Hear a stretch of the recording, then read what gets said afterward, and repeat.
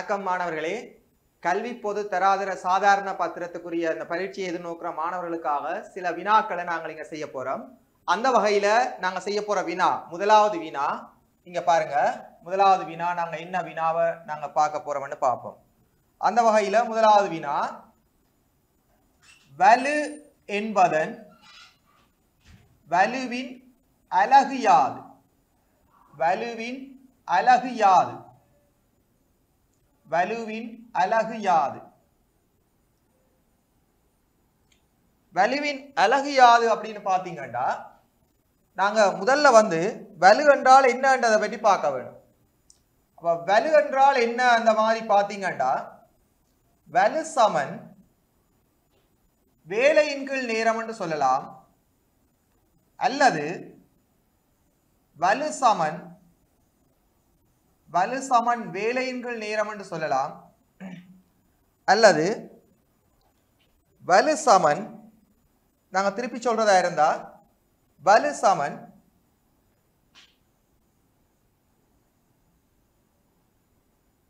சக்தியின் கீழ் நேரம் என்று சொல்லலாம். சக்தியின் கீழ் நேரம் அப்படின்னு சொல்லலாம். வலு சமன் சக்தியின் கீழ் நேரம். அப்ப இங்க வந்து நாங்க பாக்குறோம் வேலை வந்து வேலையின் கீழ் நேரம் என்று சொல்லலாம் அல்லது சக்தியின் கீழ் நேரம் என்று சொல்லலாம். அதே மாதிரி வலுவுக்கு இன்னும் ஒரு சமன்பாடு இருக்கு. அது சமன் வலுவுக்குரிய இன்னும் ஒரு சமன்பாடு நீங்க பாத்தீங்கன்னா தெரியும். வலு சமன். அதை நாங்கள் வேறொரு கலர்ல எழுதுவோம். வலு சமன். மின்னழுத்த வேறுபாடு. மின்னழுத்த வேறுபாடு தர நேரம் சாரி தர மின்னோட்டம்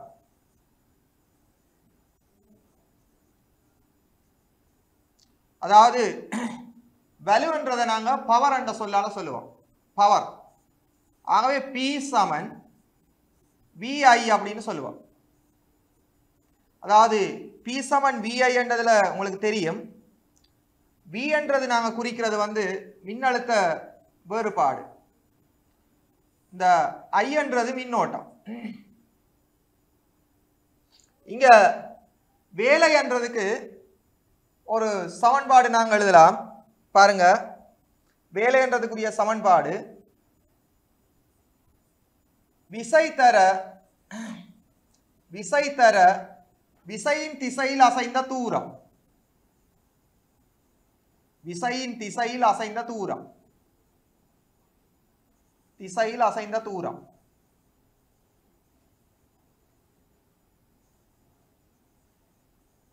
விசையின் திசையில் அசைந்த தூரம்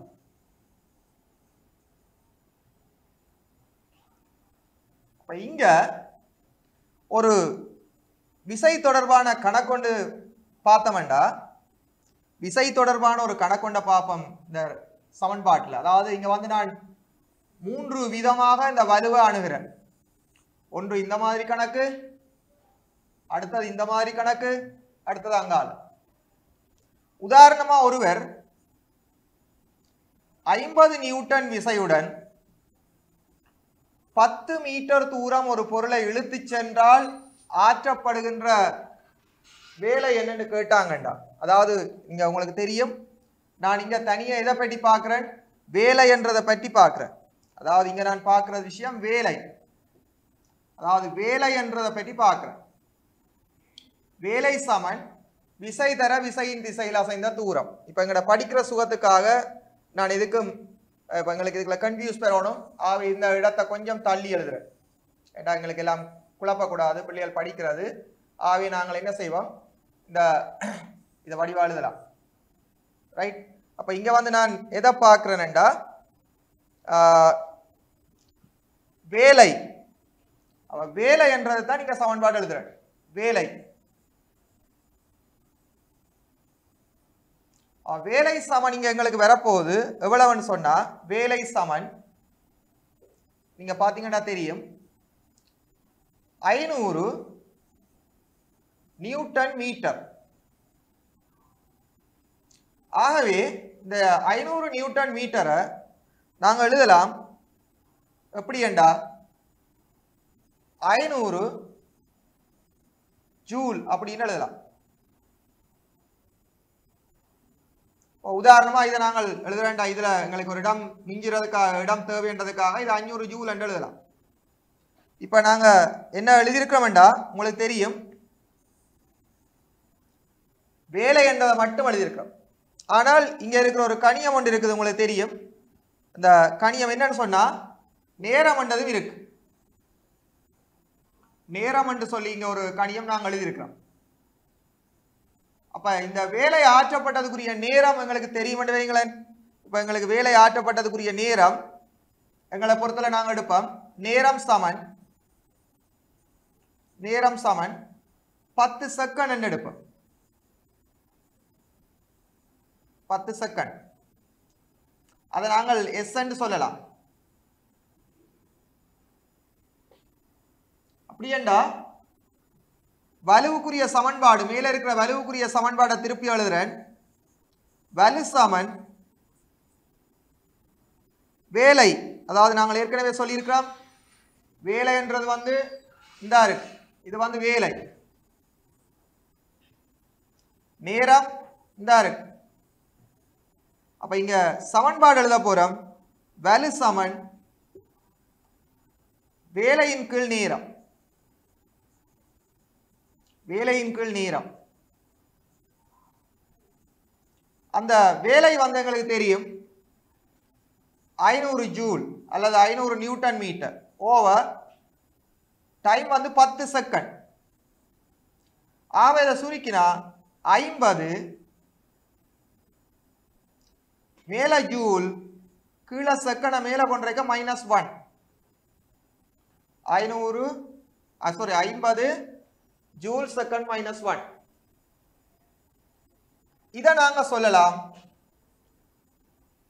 ஐம்பது வேட் அதாவது பிள்ளைகள் ஆஹ், உங்களுக்கு தெரியும். இதுல வந்து பாத்தீங்கன்னா ஆஹ், உங்களுக்கு தெரியும். வலுன்றது வேலையுங்கள் நேரம். வேலை என்றா என்ன? விசை தர விசையின் திசை அசைந்த தூரம். வேலையை கண்டு எவ்வளவு நேரத்தில் செய்யப்பட்ட வேலை என்றா வேலையுங்கள் நேரத்தை போடைக்குள்ள வலு வரும். சரியா? அடுத்த முறையில் செய்வோம். அடுத்த முறையை பார்த்தீங்கன்னா சக்தியுங்கள் நேரம். இங்க சக்தி என்றதுக்கு பாருங்க. சக்தி என்றதுக்கு நாங்க பார்த்தோம்டா சக்தி உதாரணமா ஒரு மின்குமிழ் ஒளிர்றதாக கருதுவோம். ஒரு மின்குமிழ் ஒன்று ஒளிருது. இந்த மின்குமிழ்ல இருந்து வர்ற ஒளி சக்தியைத்தான் கருதுறோம். வெப்ப சக்தி வரையில. அதுல இருந்து பார்த்த சக்தி கருதுறோம். ஆஹ், கிட்டத்தட்ட ஆஹ், அறுநூறு அறுநூறு ஜூல். அதாவது அந்த அதுல இருந்து வந்த சக்தி வந்து எது? உங்களுக்கு தெரியும். அந்த வலுவன்றது சக்திங்கள் நேரம். அந்த அடிப்படையில் சக்தி வந்த எவ்வளவுன்னு சொன்னீங்கடா நாங்கள் ஒரு கருதலாம் அறுநூறு சக்தி ஜூலின் கீழ். அந்த இது வந்து கிட்டத்தட்ட எங்களுக்கு ஒரு ஐந்து செகண்ட்கள் பயன்படுத்தப்பட்டதாக இருந்தால் அது வந்து சுருக்கினா ஐ பன்னிரெண்டு அறுபது நூற்றி இருபது ஜூல் பர் செகண்ட் என்று வேறு. Joule per second minus one இதை நாங்கள் எப்படி எழுதலாம்? பல் சமன் பல் சமன் நூற்றி இருபது வேட் என்று எழுதலாம். அப்போ பிள்ளைகள் வலுன்றதுக்கு ஒரு விடயத்தை நான் இதில் உங்களுக்கு இன்ட்ரடியூஸ் பண்ணுறேன் இது சில வேளையில் ஒரு அமுழ்ப்பு வெப்பமாக்கியாக கூட இருக்கலாம். மின்குமிழ் தான் கட்டாயம் தரணும் இல்லை. இப்போ சும்மா சொல்லுவோம் ஒரு அமுழ்ப்பு வெப்பமாக்கி பயன்படுத்தப்படுது அந்த அமுழ்ப்பு வெப்பமாக்கியிலிருந்து பயன்படுத்தப்பட்ட அமுல் வெளிவிடப்பட்ட வெப்பம் வந்து உங்களுக்கு தெரியும் அறுநூறு ஜூல். அறுநூறு ஜூல் வந்து நாங்கள் எடுக்கிறோம். அறுநூறு ஜூல் சக்தி. அது எங்களுக்கு நேரத்தில்? ஐந்து செகண்டுக்கு வருதுன்றாலும் அந்த வெப்பமாக்கியினுடைய வலு பவரை வந்து நாங்கள் கண்டுபிடிக்கலாம். இன்னும் ஒரு முறை தான் உங்களுக்கு இருக்குது. அதுக்கு தான் இடம் இல்லையன்ட்டு நான் இங்கால் எழுதினான். இன்னும் ஒரு முறை பிள்ளைகள் பார்த்தீங்கன்னா தெரியும். இது சாதாரணமாக ஒரு அமுழ்ப்பு வெப்பமாக்கிக்கே கருதுவோம் அமுழ்ப்பு வெப்பமாக்கி. இதுக்குள்ள பயன்படுத்தப்படுகிற கம்பி வந்து அமுழ்ப்பு வெப்பமாக்கியில் பயன்படுத்தப்படுற கம்பி வந்து ஒரு கலப்புலோகம் நிக்ரோம் கம்பி. ரைட் அப்போ நாங்கள் இதில் வந்து இந்த அமுழ்ப்பு வெப்பமாக்கியை பார்த்தீங்கன்னா இந்த அமுழ்ப்பு வெப்பமாக்கிக்கு வந்து மின்னோட்டம் வந்து தேவை. நாங்கள் மின்னோட்டம் கொடுக்கணும். இது இருநூற்றி நாற்பது வோல்ட் மின்னழுத்த வேறுபாடுடைய மின்னழுத்த வேறுபாடு. இதை நாங்கள் சொல்லுவோம். மின்னழுத்த வேறுபாடு. மின்னழுத்த வேறுபாடு. அப்ப இருநூற்றி நாற்பது வோல்ட் மின்னழுத்த வேறுபாடு உடைய ஒரு மின்னோட்டத்துக்கு ஆடலோட்ட மின்னோட்டத்துக்கு இதை நாங்கள் பயன்படுத்துகிறோம் கிட்டத்தட்ட இதை பயன்படுத்தும் போது ஐந்து அம்பியர் மின்னோட்டத்தை இது எடுக்குது. ஐந்து அம்பியர் மின்னோட்டம் பயன்படுது.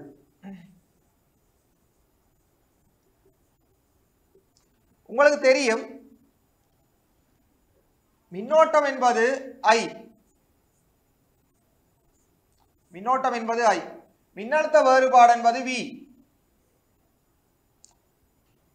வலு என்பது வலு என்பது உங்களுக்கு தெரியும். வலு அப்படின்னு சொல்றது பவர் ஆகவே வலுவை வந்து நாங்கள் என்னத்தில் சொல்லலாம்? பவர் பி என்று சொல்லலாம். ஆகவே சமன்பாடு எழுத போறேன். பி சமன் விஐ இல்லை உங்களுக்கு அதை தெளிவாக எழுத்துலேயே எழுத வேணுமா இருந்தா? நான் இப்போ இப்படி எழுதலாம் உங்களுக்கு? உங்களுக்கு எழுத்தில் எழுத வேணுமா இருந்தா? என்ன? ஆஹ்,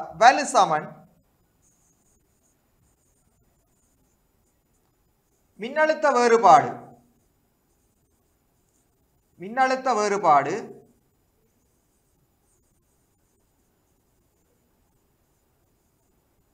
தர மின்னோட்டம். மின்னழுத்த வேறுபாடு தர மின்னோட்டம் என்று சொல்லலாம். மின்னோட்டம். இதே நாங்க குறியீட்டுல சொல்லுவோமா இருந்தா பி சமன் வி ஐ என்று சொல்லலாம்.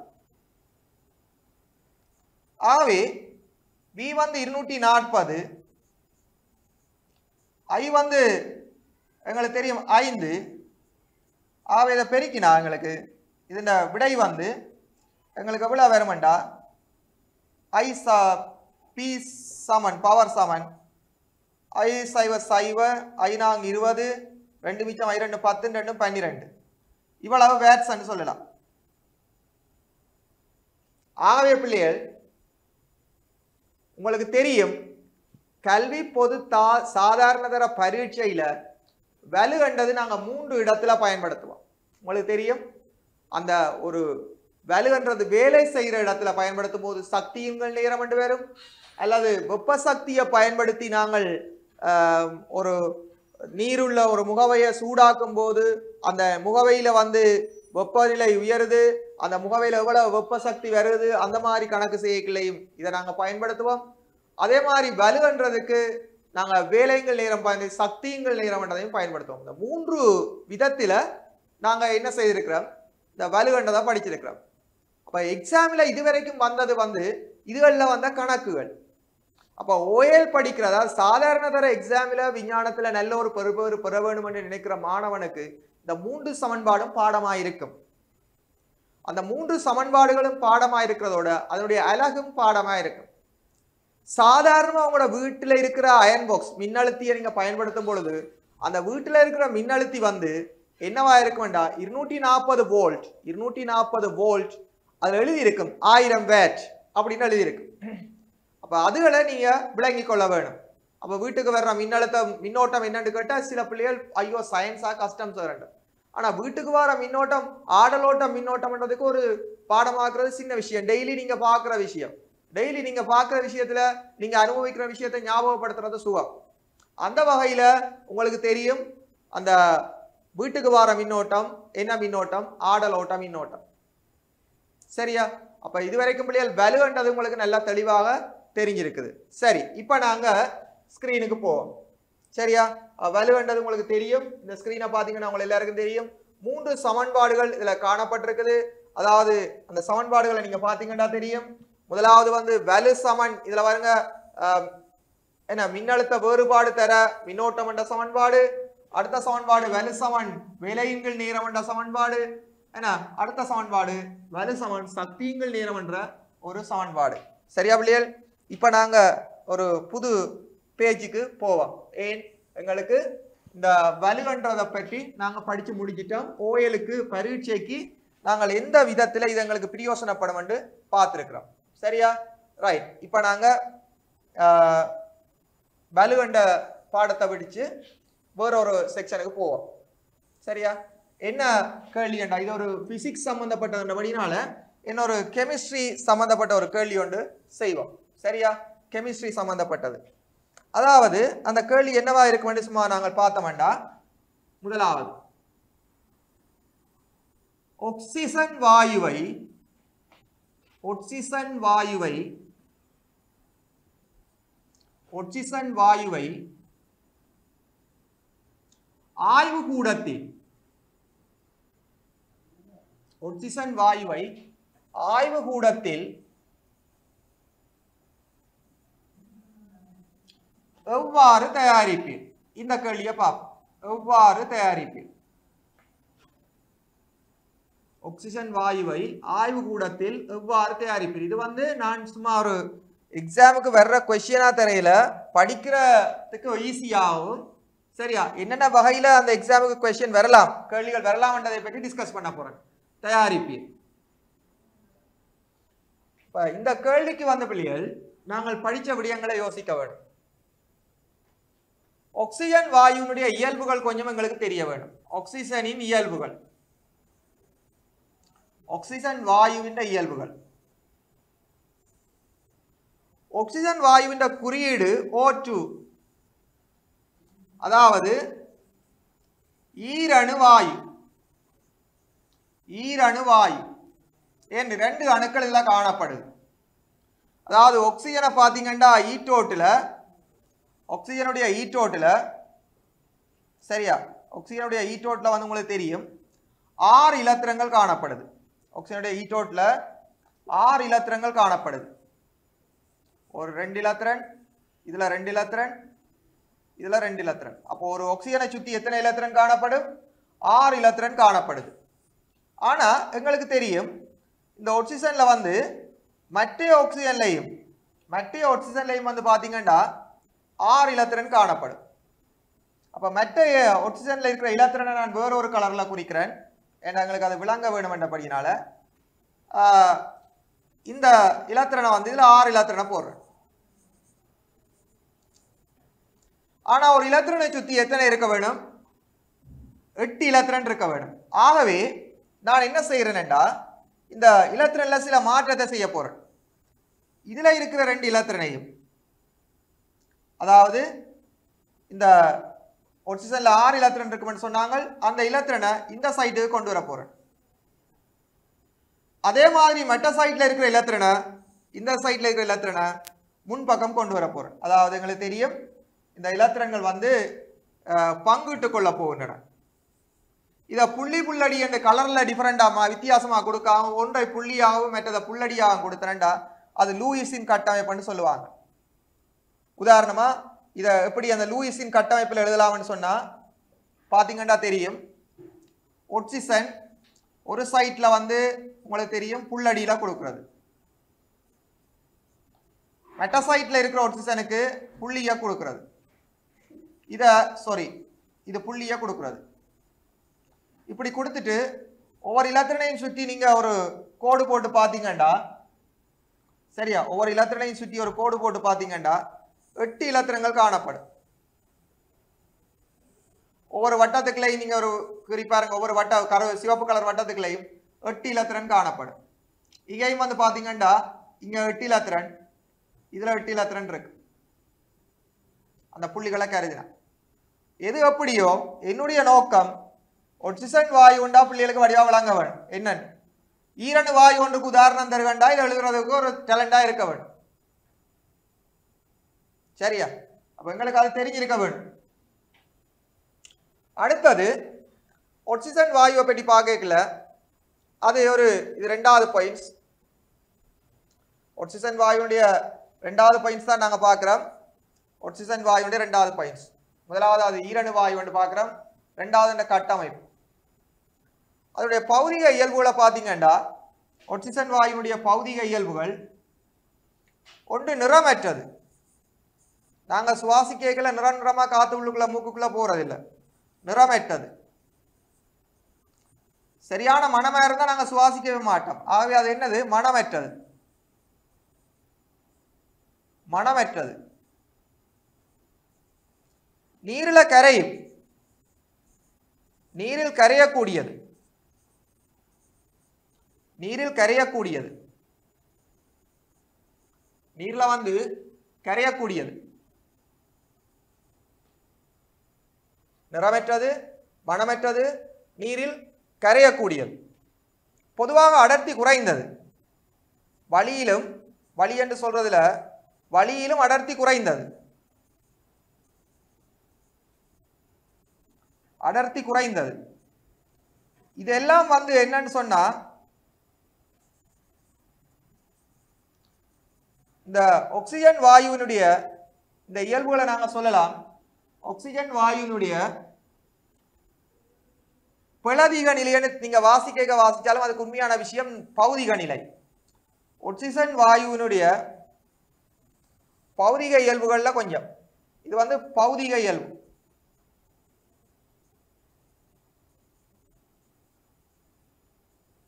நிறமட்டது மனத்தில் நீரில் கரையும்ன்றது கூட உங்களுக்கு சிம்பிளான விஷயம்.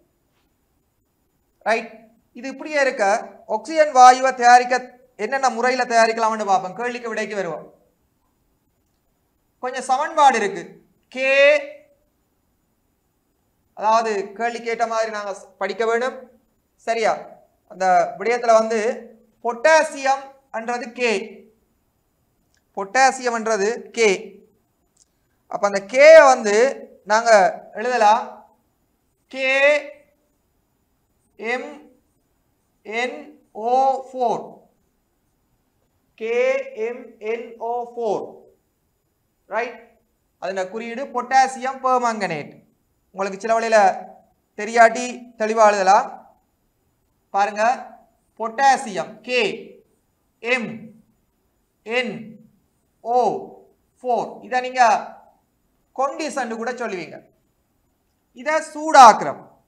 இந்த பொட்டாசியம் பெர்மங்கனேட்டை சூடாக்கினான். எங்களுக்கு potassium manganate K two M N O four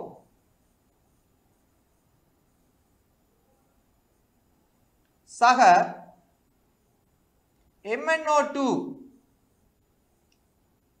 மெங்கனீர் oxide சக ஆக்சிஜன் வாய். இதுதான் எங்களுக்கு தேவையானது. இந்த சமன்பாடு இதுதான்.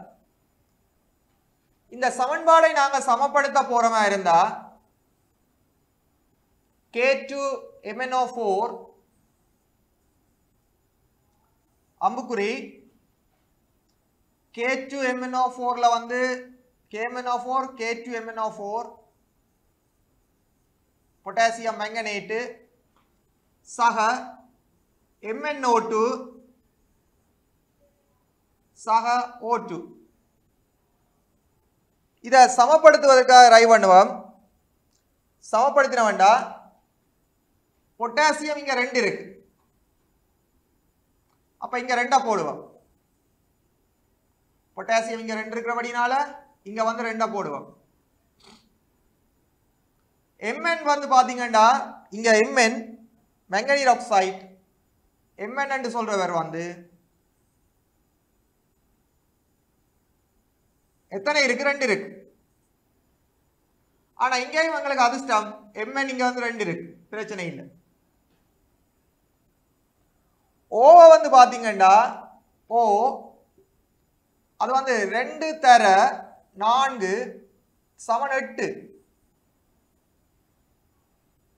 இங்க வந்து பார்ப்போம் இதுல நான்கு ஆக்சிஜன் சக இதுல ரெண்டு ஆக்சிஜன் சக இதில் ரெண்டு ஆக்சிஜன் மொத்தத்தில் எட்டு ஆக்சிஜன் வந்துட்டு.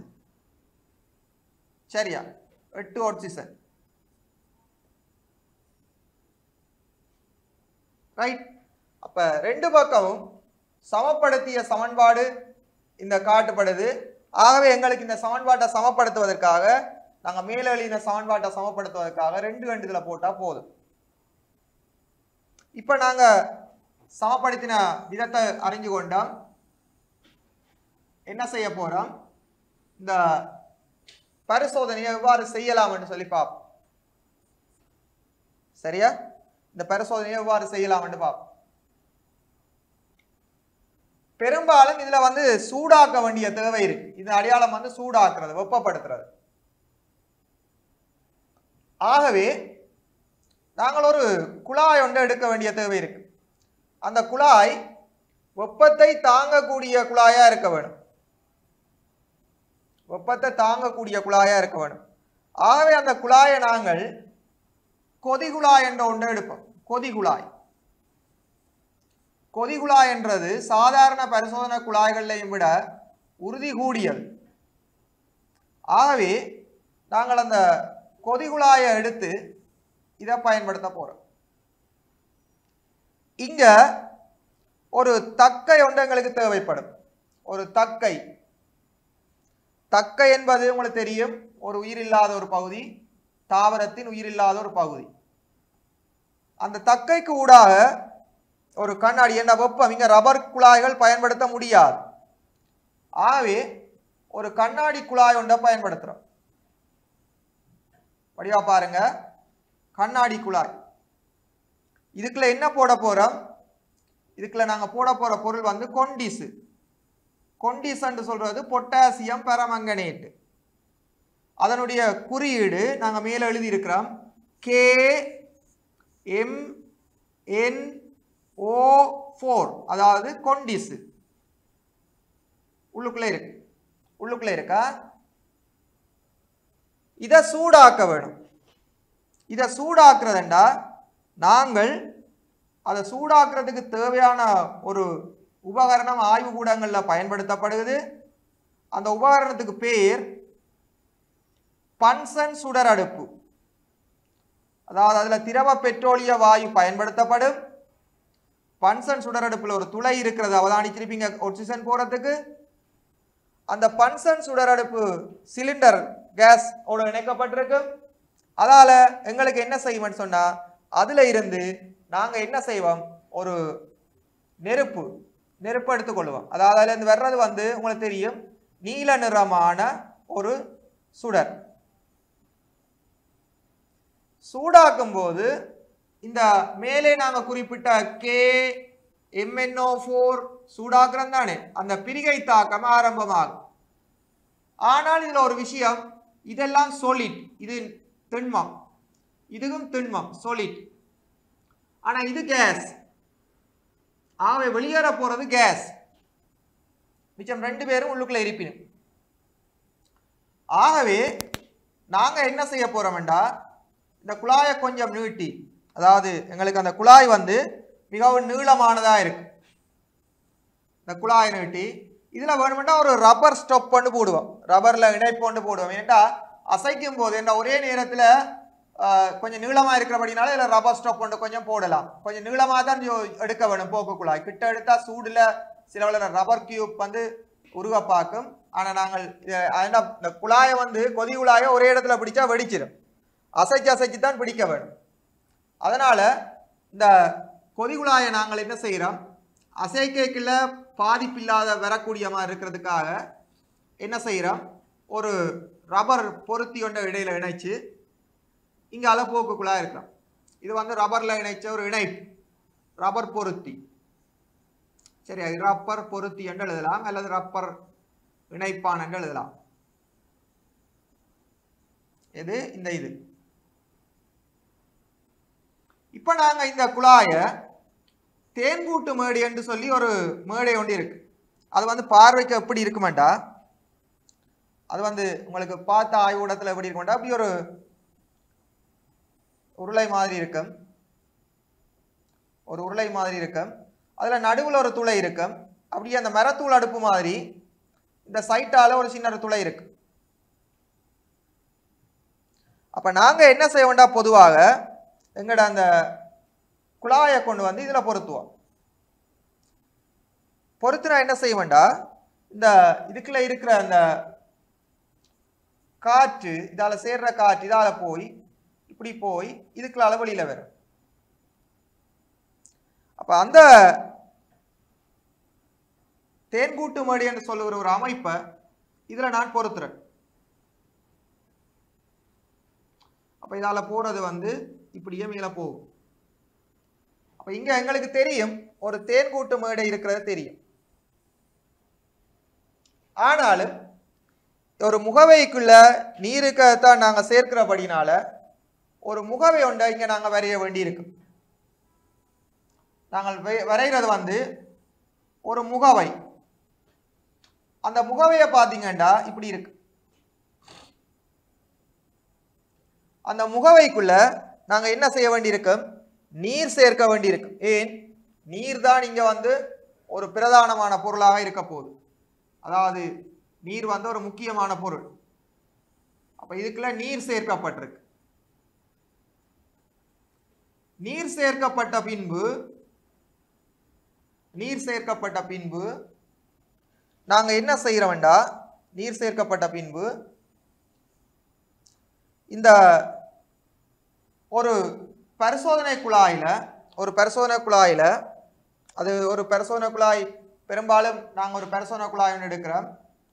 அந்த பரிசோதனை குழாயா இருக்கலாம் இல்லை ஒரு வாயு சாடியாக இருக்கலாம் என்னவோ எடுத்து அதுக்குள்ளே ஃபுல்லாக முழுவதும் நீர் நிரப்புவோம். அதுக்குள்ளே என்ன செய்வோம்? முழுவதும் நீர் நிரப்புவோம் ஃபுல்லாக நிரப்பிட்டு அந்த பரிசோதனை குழாயை மேலே ஒரு கையை வைக்கிறோம். அந்த மூடி கையால் மூடுறோம். பரிசோதனை குழாய் என்ன செய்கிறோம்? கையால் மூடுறோம். கையால் மூடிட்டு அதை அப்படியே தலைகளாக கவுக்கிறோம். இதை அந்த பரிசோதனை குழாயை நாங்கள் தலைகீழாக கவுக்கிறோம். இப்போ தலைகீழாக கவுக்கும் பொழுது அந்த பரிசோதனை குழாய் இப்படி வரும். சாரி அந்த வாயு குழாய். அது மட்டும் இல்லை நாங்கள் அந்த கையால் மூடினதை விட மாட்டோம். இது கையால் மூடி இருப்போம் உள்ளுக்குள்ளே என்ன இருக்கும்? அவ்வளவு தண்ணியும் இருக்கும். அதை அப்படியே தண்ணிக்குள்ளே பதிச்சு தண்ணிக்குள்ளே கொண்டு வந்து இதை அந்த கையை வச்சுக்கொள்கிற அந்த இடத்த வந்து அந்த பரிசோன குழாயை கொஞ்சம் கொஞ்சமாக கீழே கொண்டு வருவோம். சரியா? அந்த பிரசோன குழாயை கொஞ்சம் கொஞ்சமாக கீழே கொண்டு வந்து இந்த இடத்துல கையை வச்சுட்டு கையை நைஸாக எடுப்போம். தண்ணிக்குள்ளே வச்சுட்டு கைக்கு இருக்கிற இந்த த கையை வெளியில் எடுப்போம். இப்போ கையை தண்ணிக்குள்ள இருந்து வெளியில எடுத்தால் அந்த வாய்ச்சாடிக்கு இருக்கிற எந்த விதமான தண்ணியும் கீழே கொட்டாது. சரியா? இது பரிசோதனையில் நடக்கிற முடிவு. தண்ணியை முதல் நிரப்ப வேணும் கையால் மூட வேணும் திரும்ப என்ன செய்யணும்? தலைகளாக்க விட்டு தண்ணிக்குள்ள வச்சு தான் கையை எடுக்க வேணும். எடுக்க என்ன செய்ய வேண்டாம் அந்த வாய்ச்சாடி சரியா? இதில் படத்தில் காட்டப்பட்ட மாதிரி ஒரு அமைப்பில் அது இருக்கும் அதாவது எப்படி இருக்குமெண்டு பாருங்கள் அந்த வாய்ச்சாடி எப்படி இருக்குமெண்டா? இந்த வாய்ச்சாடியை நான் வேறு ஒரு கலரில் கொடுக்குறேன். ஏனண்டா உள்ளுக்குள்ளே கையெல்லாம் எடுக்கிறேன் ரைட் உள்ளுக்குள்ளே என்ன இருக்குது? நீர் இருக்குது. நீரண்டா உங்களுக்கு தெரியும் என்ன கலரில் நான் இங்கே யூஸ் பண்ணுறேன் ஒரு ப்ளூ கலரில் ஒரு லைட் ப்ளூவில் யூஸ் பண்ணுறேன் சரியா? இதுக்குள்ள ஒரு வாய்ச்சாடி ஒன்று வைக்க போகிறேன் வாய்ச்சாடியை நான் வேறு கலரில் நான் எங்களுக்கு தெரியும் தேன்கூட்டு மாட்டி ஒரு ஒரே கலரில் இருக்கிறபடினால வாய்ச்சாடியை வேற ஒரு கலரில் எடுப்போம். அந்த வாய்ச்சாடியை நாங்கள் நீர் எடுத்து என்ன செய்வோம்? வாய்ச்சாடியை வந்து நீர் எடுக்க வேணும். என்ன? உங்களுக்கு தெரியும் இந்த போட்டில் வரைகிறதுன்றது என்ன? கொஞ்சம் உங்களுக்கு விளங்குறதுக்கு ஏற்ற மாதிரி வரைய வேண்டும். சரி இப்போ நாங்கள் வாய்ச்சாடியை எடுக்கிறோம். ரைட் இது வாய்ச்சாடி இந்த வாய்ச்சாடி இப்படி மூடி இருக்கு. இதுக்குள்ள ஃபுல்லாக என்ன இருந்தது? முற்றாக இதாலான நிரப்பப்பட்டிருக்குது. கையை நாங்கள் எடுக்கல உள்ளுக்கு என்ன இருந்தது? நீர் முழுவதும் நீர். முற்றாக நீர் நிரம்பி இருக்கு இதுக்குள்ள எந்த விதமான வேற பொருட்களும் இல்லை. முற்றாக நீரால நிரம்பப்பட்டிருக்கு இந்த வாய்ச்சாடிக்குள்ள இந்த என்ன? முழுதும் நீர். ரைட் இப்போ நாங்க பகுதிகளுக்கு பேரிடலாம் என்னென்னு பேரிடுவோம் ஒவ்வொரு பகுதிகளையும் பேரிட்டீங்கண்டா இது வந்து போக்கு குழாய். சரியா? இது வந்து போக்கு குழாய். இப்போ நாங்க இதுல இடம் இருக்கிறபடியே இதுக்குள்ள எழுதலாம். போக்கு குழாய். போக்கு குழாய் இதில் வந்து போக்கு குழாய்ன்றது உங்களுக்கு தெரியும். அதில் எழுத்து கிளியராக தெரியுதோ தெரியாது. அதால் திரும்ப அதில் எழுதுறேன். போக்கு குழாய் ரைட் அடுத்தது தக்கை என்று ஒன்று இருக்கு. இதில் பிள்ளைகள் நீங்கள் படம் வரைஞ்சா பகுதிகளை பேரிடவன் இது தக்கை. தக்கை. இது பன்சன் சுடர் அடுப்பு. பன்சன் சுடர் அடுப்பு. சில வழியில மதுசார விளக்கம் பயன்படுத்தலாம். பன்சன் சுடர் அடுப்பு. இது முகவை. எது? அங்கால இருக்கிறது வந்து முகவை. இது முகவை. ஒவ்வொரு பகுதிகளும் பெயரிடப்பட வேண்டும். இதுல இருக்கிறது வந்து தேன்கூட்டு மேடை. தேன் கூட்டு மேடை. சில வழியில் இதில் இந்த டாண்டிவின் அடையாளம் இருந்தால் உங்களுக்கு தெரியாது. ஆனாலும் உங்களை தெரிஞ்சு கொள்ளணும் கருப்பு கலரில் எழுதுறேன் தேன்கூட்டு மேடை. இதை நீங்கள் எழுதலாம். வாயுச்சாடி அல்லது சில பேர் அளவு சாடின்னு எழுதுவாங்க. மெஷரிங் கிளாஸும் இதுக்கு யூஸ் பண்ணலாம். அளவு சாடி என்றும் நீங்கள் இதை சொல்லலாம்.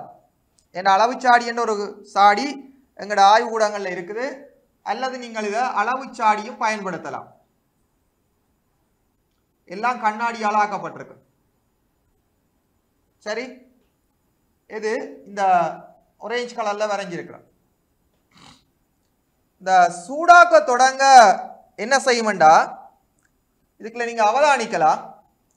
சிறிய வலி குமிழிகள் சிறிய வலி குமிழிகள் இதுக்குள்ள தோன்றும். இதுக்குள்ள என்ன தோன்றும்? சிறிய வலி குமிழிகள் இதுக்குள்ள தோன்றதை அவதானிக்கலாம். தோன்றி அவைகள் கொஞ்சம் கொஞ்சமாக மேலே சேர்ந்து சேர்ந்து சேர சேர உங்களுக்கு தெரியும் சடப்பொருட்கள் இடத்தை அடைக்கும் இயல்புடையன ஆகவே அந்த சடப்பொருட்கள் என்ன செய்ய வேண்டாம் மேலே போய் அந்த இடத்தை அடைச்சு கொள்ளும். அதால் மேலே இருந்த தண்ணி மேலே இருந்த நீர் என்ன செய்ய கீழே இடம் பெயரும். மேலே இருந்த நீர் என்ன செய்யும்? கீழே இடம் பெயரும். நீரை தள்ளி கொண்டு எது போய் சேருது உள்ளுக்குள்ள? காற்று போய் சேருது. நீரை தள்ளி கொண்டு எது போய் சேருது? காற்று போய் சேருது. அது என்ன காற்று? அதாவது வழி என்ன வழின்னு சொல்லக்கூடாது அதுக்கு பேர் சரியான எழுத்து வாயு என்று சொல்ல வேணும். ஒரு நாளும் வழி என்று எழுதக்கூடாது. என்னும் வழி என்று எழுதினீங்கண்டா எல்லாம் பிழைச்சிடும் சரியா? என்ன எழுதணும்? வாயு. ஏன் வழி என்றது ஒரு கலவை. ஆவே பிள்ளைகளே வழி என்றது என்ன? ஒரு கலவை.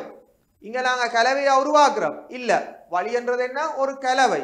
அப்ப நாங்க அந்த முக வாயுச்சாடிக்குள்ள அல்ல அந்த வாயுக்குள்ள சேர்க்க ஒட்சிசனை தானே தயாரிக்கிறோம். ஆகவே ஒட்சிசனை தான் நாங்க எழுத வேணும். சரியா? அல்லது ஒட்சிசன் நீங்க நேரடியா இப்போ எழுதல அது என்ன எங்களுக்கு தெரியாது. ஆகவே அது என்ன? எரியும் தனக்குச்சிய அதில் நாங்கள் அந்த முகவை எடுத்து திருப்பி பிடிச்சு பார்க்க வேணும் பிடிக்கலாம் டக்குன்னு தீப்பற்றி எரியும் அதை வச்சு தான் நாங்கள் கண்டுபிடிக்கலாம். ஆகவே நாங்கள் ஒட்சிசன் வாயு என்று எழுதுறதை விட வாயு என்று எழுதலாம். ஒட்சிசன் வாயுவை எவ்வாறு நாங்கள் காண்பீர்கள் என்றால் தனக்குச்சியை தீப்பற்றும். டக்கண்டு என்ன செய்யும்? தீப்பற்றும். அப்போ தனக்குச்சியை எரிய செய்கிற வாயு என்ன வாயு? ஒட்சிசன் வாயு. ஆகவே பிள்ளைங்க ஸ்க்ரீனை பார்த்தீங்கன்னா நாங்கள் நாங்க படித்த விஷயம் ரெண்டு கேள்வி. அதில் உங்களுக்கு தெரியுது ஒட்சிசன் வாயுவை ஆய்வு கூடத்தில் எவ்வாறு செய்கிறன்றதில் ஒரு முறை தான் படிச்சிருக்கிறோம். இன்னும் இரண்டு முறைகள் காணப்படுது. இது சூடாக்குறது. ஓகே இது சூடாக்குற மெதட்டை தான் பிள்ளைகள் நாங்கள் படிச்சிருக்கிறோம். இனி பொட்டாசியம் குளோரைட்டை சூடாக்கலாம். அல்லது ஐதரசன் பரோக்சைட்டுக்கு மெங்கனீர் ஆக்சைடை சேர்த்தும் ஒட்சிசன் வாயுவை சூடாக்கலாம். இதுகளை நாங்கள் வார கிளாஸ்ல படிப்போம் என்று கூறி நீங்கள் நல்லா படிச்சு நல்ல ரிசல்ட்ஸ் எடுக்கணும்னு கூறி வாழ்த்தி விடைபெறுகிறேன். நன்றி வணக்கம்.